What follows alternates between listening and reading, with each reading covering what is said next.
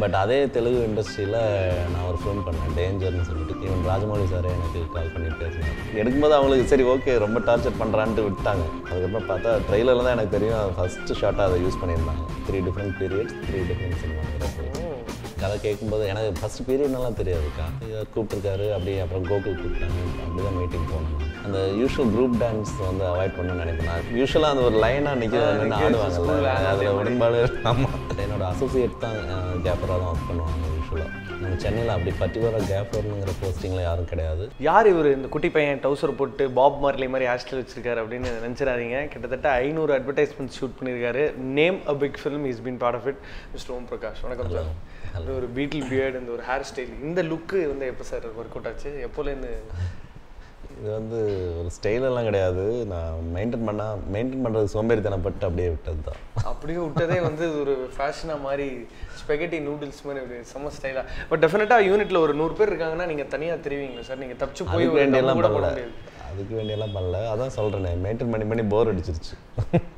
But இது ஒரு நல்ல ஒரு ஸ்டேட்மெண்ட்டாக அமையுது. பெஸ்ட் லுக்கிங் சினிமாட்டோகிராஃபர்ஸ் அப்படின்னு ஒரு பட்டியல் போட்டோம்னா அதில் டாப் ஃபைவ்ல இருப்பீங்கன்னு நினைக்கிறேன். Thank you so much for your time sir இப்போது டு பிகின் வித் ஏகப்பட்ட அட்வர்டைஸ்மெண்ட்ஸில் ஒர்க் பண்ணதுனால ஆட் ஷூட்ஸ் பண்ணதுனால அஃப்கோர்ஸ் அதோட லாஜிஸ்டிக்ஸும் சினிமாவும் வித்தியாசம் தான் பட் ஹவு மச் ஆஃப் அந்த லுக்கு உங்களோட அந்த அந்த அப்ரோச் டுவர்ட்ஸ் சினிமா இம்ப்ரூவ் ஆயிருக்கு? Ad films and feature films என்ன டிஃப்ரென்ஸ்னால் என்னை பொறுத்த வரைக்கும் ஃபீச்சர் ஃபிலிமோட ஆட் ஃபிலிம்ஸ் வந்து ரொம்ப ஒரு சீரியஸான விஷயம் என்னென்னா ஒரு சின்ன ஒரு தேர்ட்டி செகண்ட்ஸில் மேக்ஸிமம் ஒரு டென் டு ஃபிஃப்டீன் ஷார்ட்ஸ் இருக்கும். அதில் வந்து அந்த ஒரு ஷாட்டில் ஒரு சின்ன மிஸ்டேக் ஏதாவது இல்லை நம்ம கொஞ்சம் கேர்லெஸ்ஸாக ஏதாவது பேக்ட்ராப்பில் ஏதோ ஒன்று விட்டுருந்தோம்னா கூட சேனல்ஸில் வந்து டெய்லி ஒரு நூறு டைம் ரிப்பீட் ஆகும். பட் ஃபியூச்சர் ஃபிலிம் அப்படி கிடையாது. என்னைய எனக்கு அதே மாதிரி அட் தி சேம் டைம் இன்னொரு ப்ராப்ளம் என்னென்னா ஷூட்டிங்லேயே கூட ஒரு இந்த டேயில் ஏதாவது ஒரு ப்ராப்ளம் இருக்குது ஏதாவது ஒரு மிஸ்டேக் பண்ணியிருக்கோம் ட்ரெஷஸ் பார்த்தோம்னா நெக்ஸ்ட் டே ரீஷூட் பண்ணிடலாம். பட் ஆட் அப்படி கிடையாது. அவங்க பிளான் பண்ண ஸ்கெடியூலில் பிளான் பண்ண ஸ்டோரி போர்டில் உள்ள ஷார்ட்ஸை வந்து அந்த பர்டிகுலர் டேயில் ஒன் ஆர் டூ டேஸ் தான் டைம் இருக்கும் ஆடில் அதில் ஷூட் பண்ணியே ஆகணும். இல்லாட்டி அவங்க பட்ஜெட் ஹெட் ரூம் எல்லாமே டோட்டலாக இஷ்யூ வரும். ஸோ ஆட் ஃபிலிம்ஸ் வந்து more serious then feature film work பண்ணும்போது ரொம்ப சீரியஸாக ஒர்க் பண்ண வேண்டியது இருக்குது சுச்சுவேஷன் சரி இப்போ நிறைய சினிமாட்டோகிராஃபர்ஸ்க்குன்னு ஒரு ஸ்டைல் இருக்கு. பிசி சார்னா கொஞ்சம் ஒரு ஓவர் எக்ஸ்போஸ் பண்ணுறது அந்த மாதிரி ஒவ்வொருத்தருக்கும். ஸோ ஓம் பிரகாஷ் சாரோட ஒர்க்குன்னா அதில் கொஞ்சம் டிஃபைன் பண்ணுற மாதிரி கொஞ்சம் ஒரு ஃப்ளேரு ஒரு ஒரு கோல்டன் எல்லோ ஒரு ஒரு டோன் அது வந்து how did you define yourself என்னோட ஒர்க் இப்படி தான் forget what the story demands but என்னோட ஒர்க் இப்படி தான் இருக்குன்றதை வந்து எந்த காலகட்டத்தில் நீங்கள் உங்களுக்கே டிஃபைன் பண்ணல நான் அப்படி ஒரு ஸ்டைலாக ஒரு ஃபிலிமுக்கு பண்ணணும் அந்த மாதிரி நினச்சி எதுவும் பண்ணுறதில்ல அந்த ஸ்கிரிப்ட் கேட்கும்போது அப்புறம் டைரக்டர் வந்து அந்த ஷார்ட்டு சொல்லும்போது அந்த மோட்டிவேஷனில் வர வர ஒரு இன்ட்யூஷன் தான் சொல்ல முடியும். அந்த டைமில் என்ன ஃபீல் ஆகுது? அந்த கேரக்டரை வந்து எந்த மாதிரி எமோட் பண்ணணும்? விஷுவலாக எப்படி எமோட் பண்ணணுன்ட்டு டிசைட் பண்ணி அப்போது தோன்றது தான் ஏன்னா லுக்கிங் அட் யோர் ஃபில்மோகிராஃபி ரொம்ப ட்ரையாக ஒரு பக்கம் வாகேஷோடவா பண்ணியிருக்கீங்க.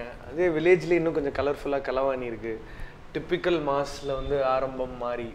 ஸோ அந்த ஒரு ஒரு nice variety you're able to provide so ஒரு கதை கேட்ட உடனே இதுதான் அந்த லுக்குக்கான மூடுன்றது எப்படி do you டிசைட் எப்பவுமே அதான் நான் டைரக்டர்ஸ் கிட்ட ஸ்கிரிப்ட் ஜென்ரலாக என்ன பண்ணுவாங்கன்னா அந்த பவுண்டட் ஸ்கிரிப்ட் கொடுக்குறோம் அப்படின்ட்டு ஹார்ட் காப்பி சாஃப்ட் காப்பி அப்படிலாம் கொடுப்பாங்க. பட் என்ன பொறுத்து நான் அப்படி வேணாம்னு சொல்லிடுவேன் என்னென்னா டைரக்டர் வந்து நரேட் பண்ண சொல்லுவேன் எப்பவுமே. ஃபஸ்ட் டைம் ஸ்கிரிப்ட் கேட்குறது முடி மெயின்டைன் பண்ணுறது சோம்பேறித்தனம் பண்ற மாதிரி படிக்கிறதுக்கும் சோம்பேறித்தனமா சோம்பேறித்தனம் கிடையாது. அது ஒரு ரீசனாக வச்சுக்கலாம். ஆனால் எனக்கு என்னென்னா அவங்க நரேட் பண்ணும்போது அவங்க என்ன மாதிரி ஃபீல் பண்ணி எந்தெந்த இடத்துலலாம் எமோட் பண்ணுறாங்க எப்படிலாம் இம்பார்ட்டன்ஸ் எங்கெங்கெல்லாம் கொடுக்குறாங்க அந்த ஹைலைட் பண்ணுறாங்க சில ஏரியாலெல்லாம் எவ்வளோ எந்த மாதிரியெல்லாம் அவங்க இம்பார்ட்டன்ஸ் கொடுத்து பண்ணுறாங்கன்னெல்லாம் அவங்க சொல்லும்போது நல்லா கெஸ் பண்ண முடியும். இப்போது நம்மளும் வந்து விஷுவலைஸ் பண்ணுறதுக்கு ஒரு ஒரு மோட்டிவேஷனாக இருக்கும்னு நினைக்கிறேன் நான். அதனால் மேக்ஸிமம் அந்த மாதிரி கேட்கும்போதே வந்து நமக்குள்ளார ஒரு விஷுவலைஸ் பண்ணுவோம். ஸ்கிரிப்ட் எப்படி வரணும்னு.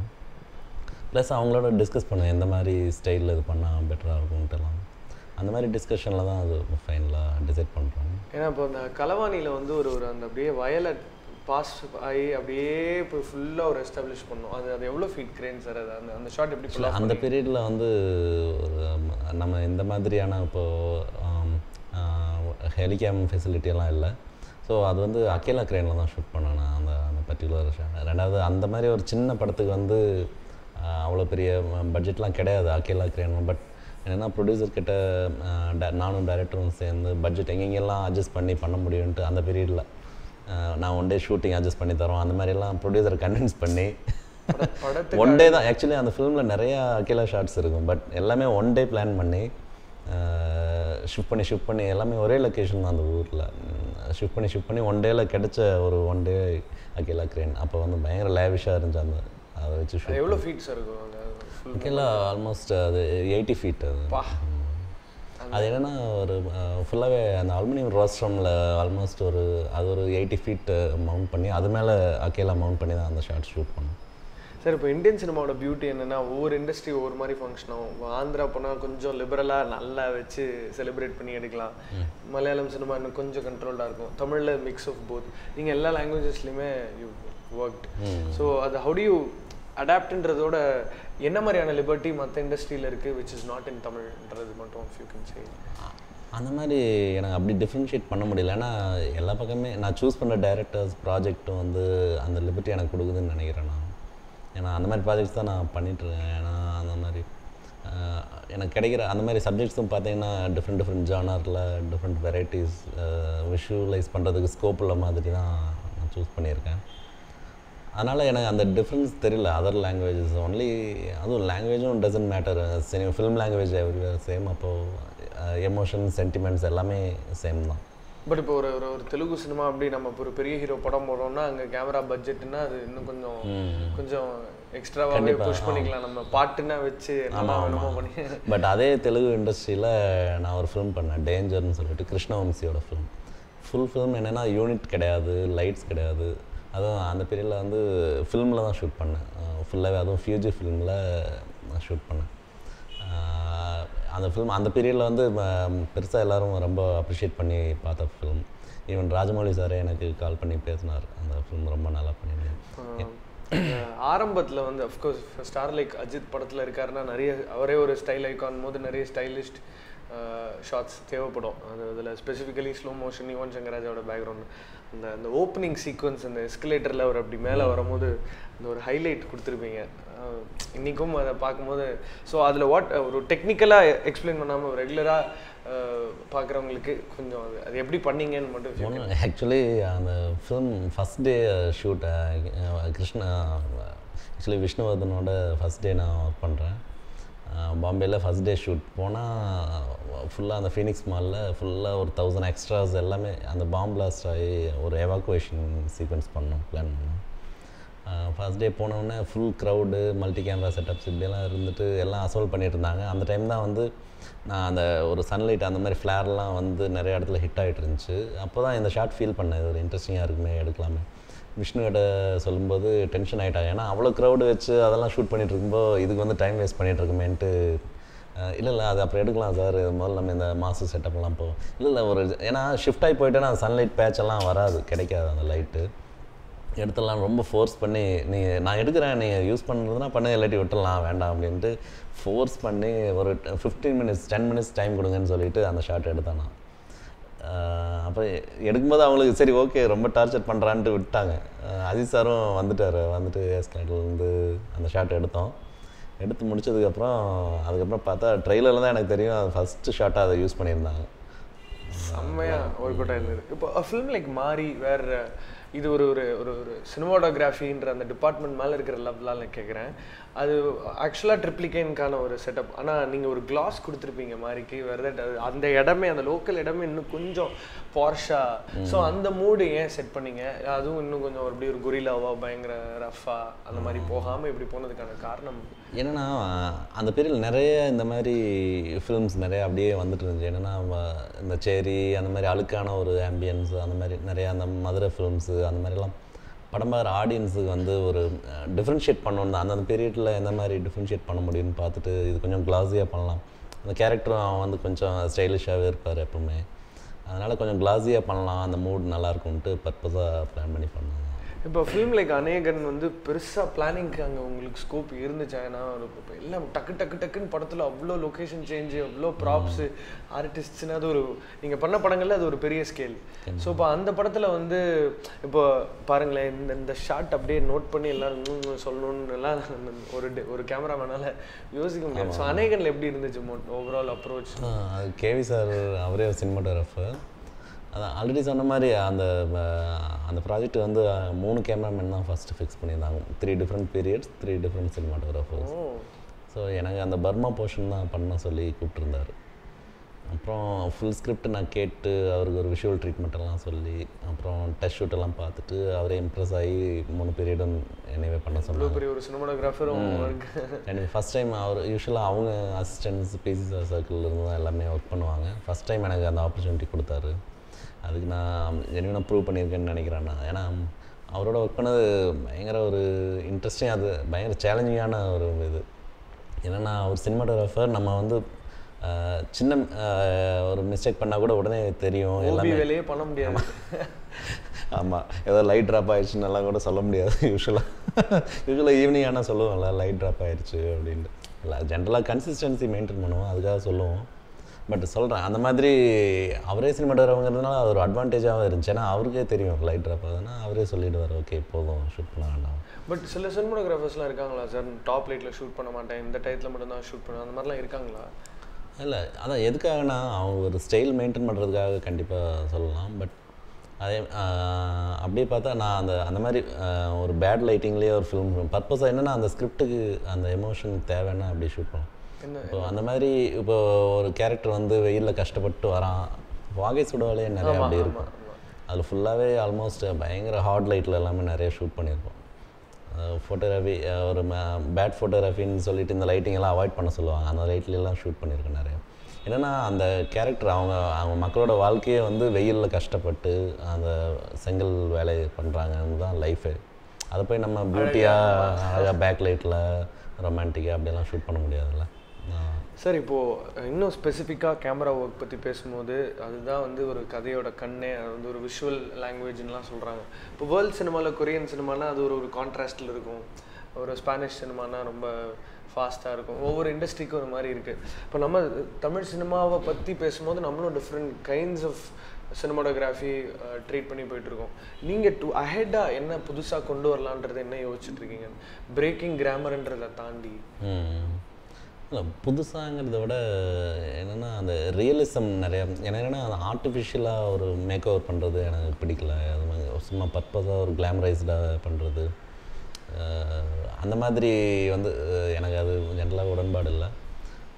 என்னோடய ஃபிலிம்ஸில் அந்த மாதிரி அவாய்ட் பண்ணணும்னு நினைக்கிறேன் நான் அதனால் நான் எல்லாமே ஒரு realistic at the same time இப்போ சொன்ன மாதிரி மாறிலாம் அந்த கிளாமரைஸ்டாக இருந்துச்சு.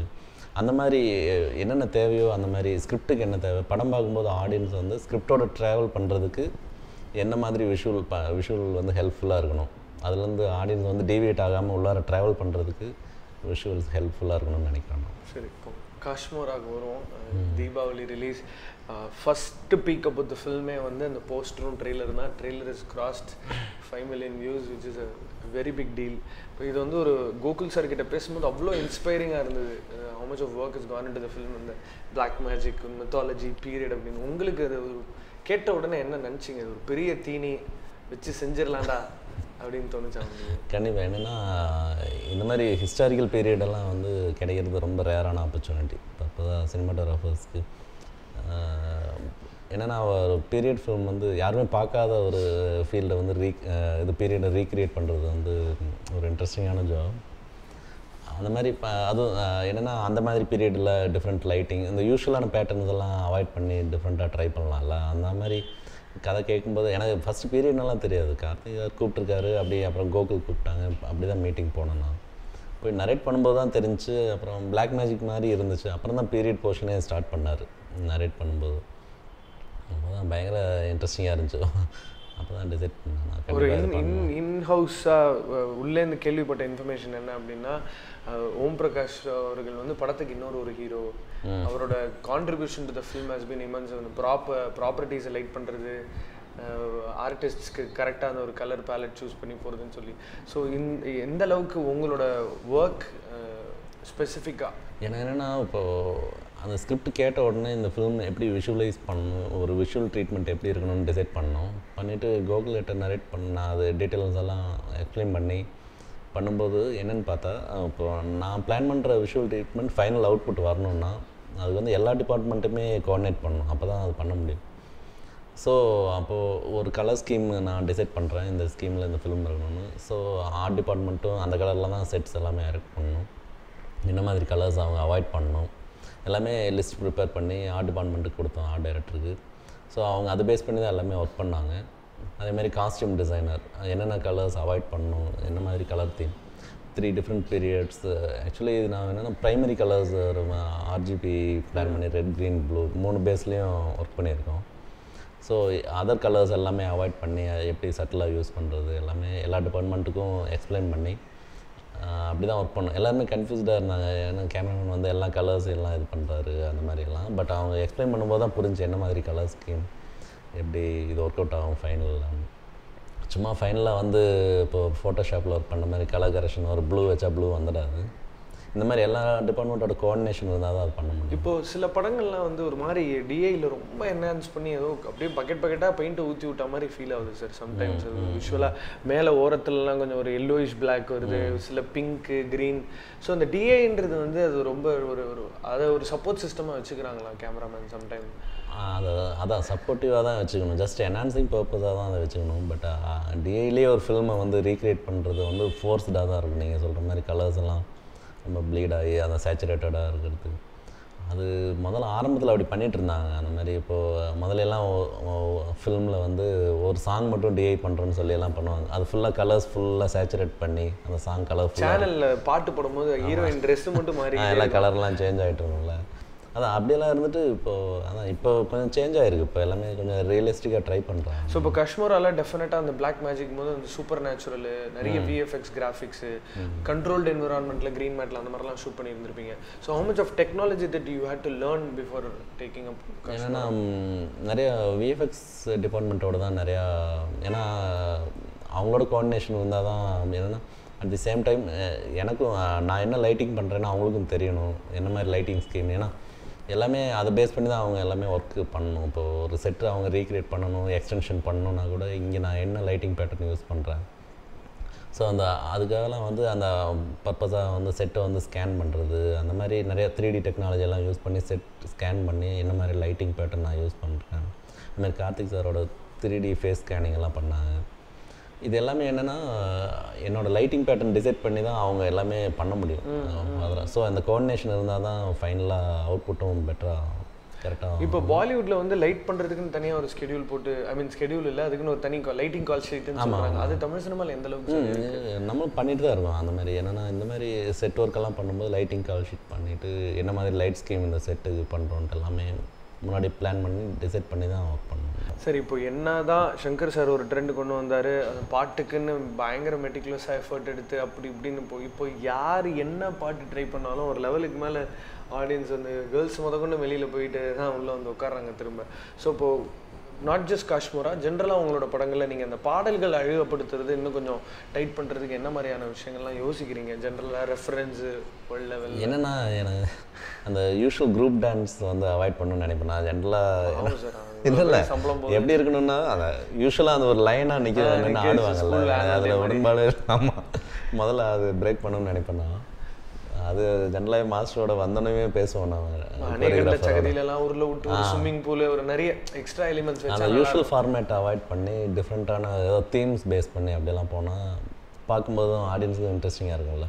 இப்போ டைட் ஷாட்ஸ்லாம் போகும்போது இப்போ நயன்தாரா மேம் கார்த்தி சார் ஸ்ரீதேவி அவங்க மட்டும்தான் ஃப்ரேமில் இருக்காங்க. அவங்களோட ட்ரெஸ் ஹைலைட் ஆகுது பேக்ரவுண்ட் ஹைலைட் ஆகுதுன்னா அதுக்கு என்ன மாதிரி ஜென்ரலாக லைட்டிங் போவீங்க? எப்படி என்ன மாதிரி shots you prefer generally technically இப்போ அந்த மாதிரி இல்லை. இப்போ பர்டிகுலராக அந்த சாங் எந்த மாதிரி நம்ம முதல்ல லைட்டிங் பேட்டர்ன் டிசைட் பண்ணிவிட்டு அதுக்குள்ளார வந்து கேரக்டர்ஸ் எல்லாம் வச்சுக்கோங்களே பர்டிகுலர் கேரக்டருக்காக லைட் பண்ணுறது அப்படிலாம். ஒரு டைட் ஷாட் இல்லை அவங்களுக்கு டயலாக் பேஸ்டாக என்னென்னா இப்போ எல்லா கேரக்டர்ஸுமே இப்போ எல்லா ஆர்டிஸ்ட்டுக்குமே வந்து அவங்களோட அனாட்டமி பேஸ் பண்ணி லைட்டிங் டிசைட் பண்ணுவோம். ஏன்னா எல்லாருக்குமே அப்படிதான் பண்ணணும். நல்லா இருக்கணும்னா. ஆ கண்டிப்பாக எல்லாருமே எல்லா ஆங்கிள்லேயுமே அழகாக இருப்பாங்க இது பர்டிகுலர் ஆங்கிளில் அழகாக இருப்பாங்க.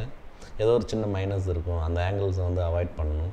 இதெல்லாம் ஃபைண்ட் அவுட் பண்ணி லைட் பண்ணணும் சூப்பர் சார். இப்போது ஒரு பட்ஜெட் கன்ஸ்டெயின் அப்படின்றது எல்லா படங்களையும் எப்போவுமே யாருமே வந்து என்ன வேணால் யூஸ் பண்ணிக்கோங்க அப்படின்னு கிடையாது. காஷ்மீரா பொறுத்தவரை how much of a boon the budget has been? இந்த பட்ஜெட் இந்த பட்ஜெட்டில் நான் இவ்வளோ பண்ணியிருக்கேன் இந்தந்த எக்யூப்மெண்ட்ஸ்லாம் நான் யூஸ் பண்ணியிருக்கேன்றது என்னெல்லாம் என்ன மாதிரி எக்யூப்மெண்ட்ஸ்லாம் இன்வால்வ் ஆயிருக்கு காஷ்மீரால? அதில் என்னென்னா எந்தெந்த மாதிரி எக்யூப்மெண்ட்ஸ் எந்தெந்த மாதிரி எக்யூப்மெண்ட்ஸ் அவாய்ட் பண்ணுறோன்னு டிசைட் பண்ணி அவாய்ட் பண்ணேன் நான் நிறையா. அப்படி என்னென்னா விஎஃப்எக்ஸ் டீம் வந்து ப்ரீ ப்ரொடக்ஷன் மீட்டிங்கில் அவங்க ஸ்டோரி போர்ட் பண்ணிவிட்டு இந்தந்த சீக்வன்ஸ் இது வந்து த்ரீ டி ஷூட் பண்ணும். இது வந்து மோஷன் கண்ட்ரோல் ரிக் வேணும். இது வந்து பேந்தர் வச்சு ஷூட் பண்ணும். அந்த மாதிரி ஃபுல் அட்வான்ஸ்டாக அவங்க என்னென்னலாம் அது பாசிபிளாக எப்படி ஷூட்டிங் பாசிபிலிட்டிஸ் என்னென்னட்டு எல்லாமே லிஸ்ட் ப்ரிப்பேர் பண்ணாங்க. பண்ணிவிட்டு அதேமாரி நைட் எஃபெக்ட்னா ஹீலியம் பலூன்ஸ் லைட்டிங் அந்த மாதிரி எல்லாமே அந்த அதை வந்து எப்படி அச்சீவ் பண்ணுறது விஷுவலாக அப்படிங்கிறதுக்கு எல்லாமே ப்ரிப்பேர் பண்ணாங்க. ஒரு லிஸ்ட்டு இப்போது என்னோட சைடு என்னென்னா அது வச்சுட்டு இப்போ அந்த மாதிரி அவ்வளோ வந்து இப்போ ஹீலியம் பலூன்னா அது பாம்பேலேருந்து வரணும். ஃபுல்லாக அது பெர் டே வந்து ஆல்மோஸ்ட் ஏன்னா அது டெய்லி சிலிண்டர் சேஞ்ச் பண்ணணும் அது மாதிரி பெரிய பட்ஜெட் அது. அது வந்து அதே லுக் வந்து எப்படி நம்மளோட இருக்கிற ஃபெசிலிட்டிஸில் வச்சு இங்கே சென்னையில் இருக்கிற ஃபெசிலிட்டிஸ் வச்சு அப்படி எப்படி அச்சீவ் பண்ண முடியும்னு டிசைட் பண்ணி அந்த கோஸ்ட் ஹவுஸ் எக்ஸ்டீரியர்லாம் லைட் பண்ணும். இண்டஸ்ட்ரியல் க்ரெயின்லாம் வச்சுட்டு இங்கேயே ஒரு சாஃப்ட் பாக்ஸ்லாம் ரிக் ரெடி பண்ணி ஷூட் பண்ணணும். அதுலலாம் ஆல்மோஸ்ட் நிறைய மேக்ஸிமம் ஒரு ஃபிஃப்டி பர்சன்ட் காஸ்ட் சேவிங் ப்ரொடியூசருக்கு அந்த மாதிரி எனக்கு எனக்கு பொறுத்தவரைக்கும் என்னென்னா அன்னெசரியாக மணி ஸ்பெண்ட் எனக்கு என்னென்னா அந்த லுக்கு வந்து ஈஸியாக நம்ம இங்கே இருக்கிற செட்டப் ஃபெசிலிட்டிஸ் வச்சு அச்சீவ் பண்ண முடியும். அந்த மாதிரி நிறையா என்னோட சைடில் அதேமாதிரி மோஷன் கண்ட்ரோல் ஸ்டோரி போர்டில் வந்து இந்த சீக்வன்ஸ் டியூவல் கேரக்டர்லாம் வரணும்னா மோஷன் கண்ட்ரோல் க்ரெயின் வச்சு தான் ஷூட் பண்ண முடியும்ட்டு அவங்க ஸ்டோரி போர்ட் பண்ணியிருந்தாங்க. பட் நான் ஷார்ட்ஸு ஸ்டோரி போர்டில் ஷார்ட்ஸ் எல்லாம் பார்த்துட்டு இவ்வளோ காம்ப்ளிகேஷன் இல்லாத நம்மளே ட்ரை பண்ணலான்ட்டு சொல்லிட்டு நம்ம இருக்கிற ரெகுலர் க்ரேன் செட்டப்லேயே எல்லாமே பண்ணி ஃபேக்டரியோட அடுத்த படமும் நீங்கள் தான் பண்ணுவீங்க ஏன்னா they have definitely been very happy about your cost cutting and maximum அந்த மாதிரி எனக்கு என்னென்னா அன்னெசரியாக ஸ்பெண்ட் பண்ணக்கூடாதுன்னு தான் நினைப்பேன் நான். சார் இப்போ அஹ், இந்த கேஃபர் அப்படின்னு சொல்றாங்க சார் அவங்க வந்து ஒரு ஒரு அன்சங் ஹீரோஸாவே இருக்காங்களோன்னு எனக்கு தோணுது. ஏன்னா ஒரு நான்லாம் பார்த்துருக்கேன் அந்த சினிமாட்டோகிராஃபருக்கும் அந்த கேஃபருக்கு ஒரு செம்ம சிங்க் இருக்கும். அவங்க கண்ணாலேயே பேசிப்பாங்க. இங்க லைட் பண்ணா டக்குன்னு நீங்க அப்படி ஒரு லஞ்ச் டயத்தில் கூட நீங்க அப்படி போயிட்டு வரும்போது உங்களுக்கு ஏத்த மாதிரி. ஸோ உங்க கேஃபர் பத்தி would you like to talk about your gaffer யாரோடலாம் உங்களுக்கு நல்ல சிங்க் இந்த படத்துல யாரு?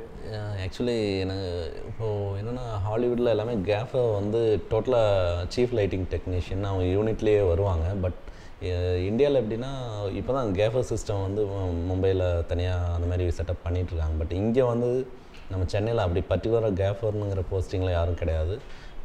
என்னென்னா என்னோடய அசோசியேட் தான் கேஃபராக தான் ஒர்க் பண்ணுவாங்க யூஸ்வலாக அந்த மாதிரி இந்த ஃபிலிமில் வந்து மணின்னு என்னோட அசிஸ்டன்ட் ஒர்க் பண்ணாங்க. அவன் அதான் அந்த சிங்க் இல்லாட்டி நீங்கள் சொல்கிற மாதிரி அது இல்லாட்டி டோட்டலாக எல்லாமே கோஆர்டினேஷன் இல்லாமல் டிலே ஆகிறது எல்லா இஷ்யூஸுமே வரும். டோட்டல் யூனிட்டை அவுட்டோர் யூனிட்டை வந்து கண்ட்ரோலில் வச்சுக்கிறது கேஃபர் தான். இப்போ காஷ்மீரா பார்க்கும்போது எல்லாமே ஒரு ஒரு ஒரு கண்ட்ரோல் என்விரான்மெண்ட் நிறைய எலிமெண்ட்ஸ் படத்தில் இருக்கிறதுனால இப்போ அந்த இமேஜினேஷன் அதாவது பாஸ்ட் போர்ஷன் ஃப்ளாஷ்பேக்குக்கும் ப்ரெசென்ட்டுக்கும் என்ன மாதிரியான ஒரு டிஃப்ரென்சியேஷன் ஏதாவது கொடுத்துருக்கீங்களா படத்தில் இப்போ? ஸ்ரீதிவ்யா ப்ரெசென்ட்டில் இருக்காங்க அவங்க நயன்தாரா பாஸ்ட் ஃப்ளாஷ்பேக்னா என்ன மாதிரி ஒரு ஒரு அதான் என்னென்னா டோன் வைஸ் இப்போது எல்லாம் அந்த பீரியட் ஃபிலிம்ஸ் ஹிஸ்டாரிக்கல் ஃபிலிம்னாலே இப்போது நம்ம பாகுபலியெல்லாம் பார்த்துட்டு இருக்கோம். பஜ்ரா வந்திருக்கு. கரெக்டாக நாங்கள் எடுத்துகிட்டு இருக்கும்போது மிடில் தான் அதெல்லாம் வர ஆரம்பிச்சது. பார்க்கும்போது தான் டோட்டலாக அதுக்கு முன்னாடி நான் டிசைட் பண்ணேன் என்ன எந்த மாதிரி ஒரு டோன் டிஃப்ரெண்ட்டாக இருக்கணும் யூஸ்வலான ஹிஸ்டாரிக்கல் பீரியட் ஃபிலிம்ஸ்லேருந்து எப்படி டிஃப்ரென்ஷியேட் பண்ணலான்ட்டு டோட்டலாக அந்த டோன்ஸ் எல்லாம் கொஞ்சம் சேஞ்ச் பண்ணிடுறேன் சேஞ்ச் பண்ணி நைட் எஃபெக்ட் இருக்குது டே எஃபெக்ட் இருக்குது ரெண்டாவது பேலஸ் இன்டீரியர் அதெல்லாம் பார்த்தீங்கன்னா லைட்டிங் சோர்ஸ் வந்து ஒன்லி ஃபயர் சோர்ஸ் தான் அந்த பீரியடில் ஹிஸ்டாரிக்கல் ஏன்னா ஆர்டிஃபிஷியல் லைட்ஸ் ஆமாம் ஃபுல்லாக ஃபயர் சோர்ஸ்லாம் எல்லாமே லைட்டப் பண்ணோம் நைட் எஃபெக்ட் எல்லாமே. டே டைம் பார்த்தீங்கன்னா த்ரூ வென்டிலேட்டர்ஸ் அந்த மாதிரி ஸ்டெயின் கிளாஸ் விண்டோஸ் வழியாக வர லைட் சோர்ஸஸ் அந்த மாதிரி ரியலிஸ்டிக்காக பண்ணணும்னு பண்ணியிருக்கோம். பர்டிகுலராக கிளாமரைஸ் பண்ணாங்க உங்களுக்கு எந்த கேமரா ரொம்ப பிடிக்கும்? ப்ளஸ் உங்களோட மோஸ்ட் உங்களுக்கு ஃபேவரட் ஷாட்ன்ற மாதிரி. கேமரா எனி ஏரியா டெக்னிக்கலாக கேட்குறீங்க ஆமா. என்ன கேமரா உங்களுக்கு ரொம்ப பிடிக்கும்? அப்புறம் எந்த ஷாட் ஸ்டாண்டர்டா ஓம் பிரகாஷ்க்கு தான் பிடிச்ச ஷாட் அப்படின்ற மாதிரி இல்லை எனக்கு பிடிச்சது நான் இப்போ அலெக்ஸா வந்து கம்ஃபர்டபுளாக இருக்கும். மீன்ஸ் போஸ்ட் ப்ரொடக்ஷனில் வந்து அந்த லேட்டிடியூட் லெவல்ஸ் எல்லாம் பார்க்கும்போது. At the same time red ட்ராகன்லேயும் shoot பண்ணிட்டுருக்கோம். அதுவும் ஃப்ளெக்சிபிளாக இருக்குது என்னென்னா ஹேண்டில்டு அந்த மாதிரி டிஃப்ரெண்ட் சுச்சுவேஷன் தகுந்த மாதிரி கேமராஸ் யூஸ் பண்ணுறோம் ஷார்ட் ஃபேவரட் ஷார்ட்னு ஏதாவது? எதில்? ஜென்ரலாக அவங்களுக்கு ஷூட் பண்ணதாகவும் இருக்கலாம். இல்லை எனக்கு இந்த சிட்டிசன் கேன் படத்தில் அந்த அப்படின்னு ஏதாவது ஒரு படத்தை சொன்னாலும் சொல்லலாம். மாதிரியா? இல்லை அப்படி வேர்ல்ட் ஃபிலிம்ஸ்னு பார்த்தா ஷின்லர்ஸ் லிஸ்ட் எனக்கு பிடிக்கும் அந்த மாதிரி பர்டிகுலராக இப்போ நான் ஷூட் பண்ணதில் அப்படி அந்த மாதிரி ஷூட் பண்ணுறதுக்கு ட்ரை பண்ணிகிட்ருக்கேன் இந்த இப்படி சொல்கிற மாதிரி ஒரு ஷாட் எடுக்கணும்னு.